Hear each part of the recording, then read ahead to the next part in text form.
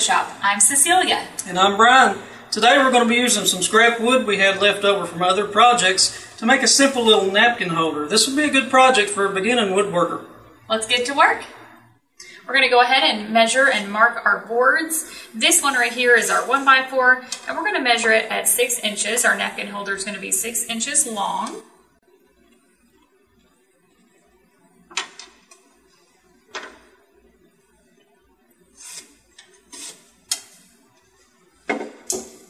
And then we've got a 1 by 6 right here, and this is going to be for the sides of our napkin holder. Again, we're going to mark it at 6 inches.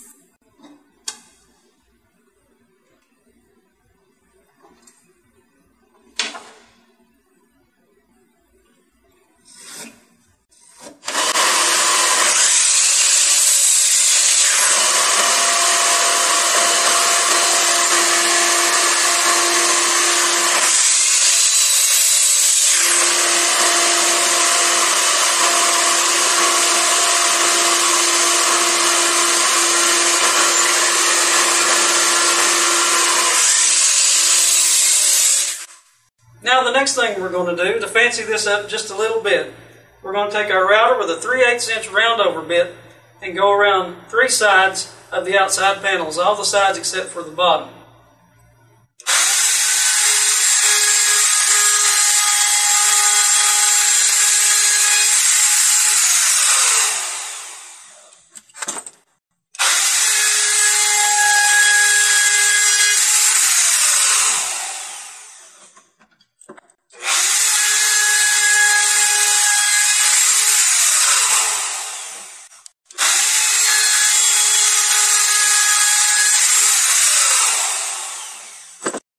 The next thing we're going to do is cut down the middle, the bottom panel of our napkin holder. As you can see, this is pretty wide. This would hold a whole lot of napkins.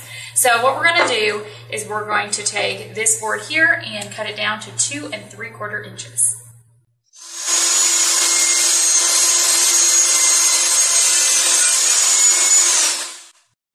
All right, here's our centerpiece. We have it written down to two and three quarter inches. Now the reason for that measurement is that we're going to hook this together using rabbet joints. Now this is three quarter inch material, so we're going to be cutting halfway through that. That'll leave us three eighths of an inch on each side. That will be taken away from this bottom piece, and that's three quarters of an inch. So we'll have two inches left in the center to hold the napkins. Now we don't have a dado blade for our table saw, so I'm going to have to do this uh, rabbet joint with five or six passes across the blade. The blade's an eighth inch thick. Now, I've got a sacrificial fence set up here so I don't dig into my table saw fence with the blade. So I have to start at zero. Now, once I get this first pass done, I'll move the fence an eighth inch at a time so I can keep making passes and get up to three quarters of an inch.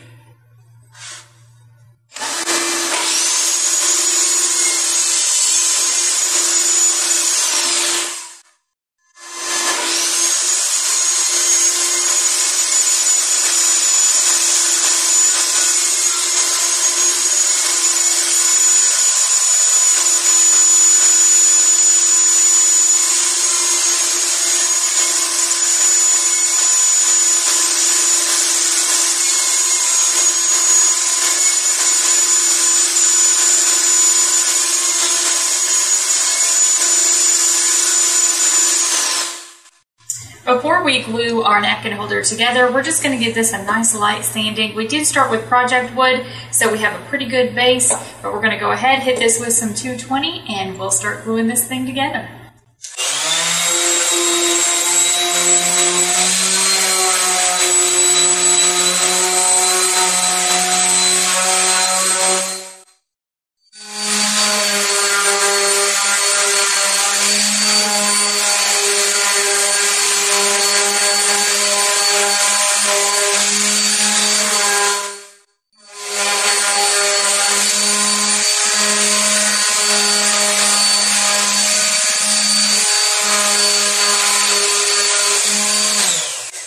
Now that our pieces have been cut and sanded, we're ready to assemble these. One thing we did want to tell you about, um, we used a table saw to make these rabbets. You could also use a straight bit on a router if you wanted to do that. Uh, the actual bit that we have wasn't quite big enough for that job, so we used the table saw.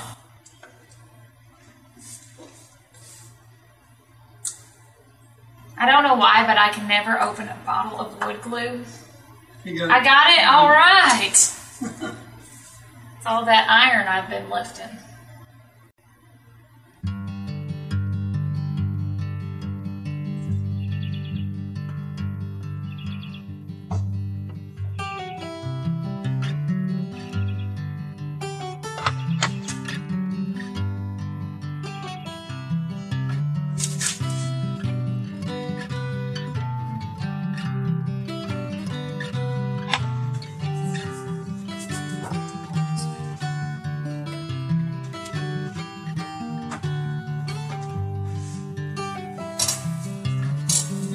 It's almost time for a dinner break, but before that, we're going to put some clamps around our napkin holder and let it dry.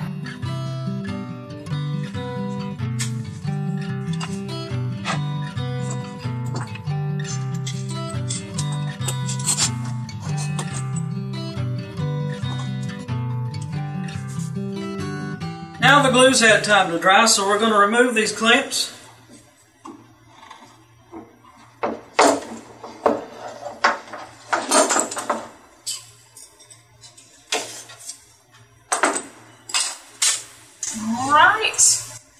Looks like a napkin holder to me. Uh, we're going to apply some lacquer to this and then we'll be done and we can test it out with some napkins. Um, you know, we've been married for like 19 years and I don't think we've ever had a napkin holder, so sounds weird. You can buy one at Walmart, but we've never had one and uh, we made one.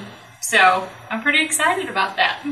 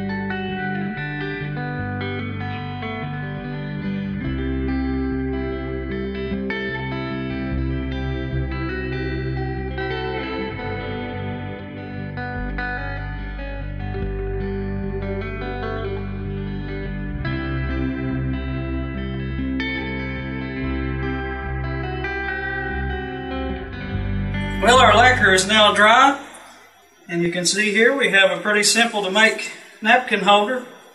And these napkins just came from, they appeared out of nowhere. I don't know where they came from. As you can see, they're a great fit. We're really excited um, about this napkin holder. You know, it's simple, but it's elegant. It's going to look great in our kitchen, and we'll have napkins at hand whenever we need them. So we're really excited about that, and it was fun making this with you today.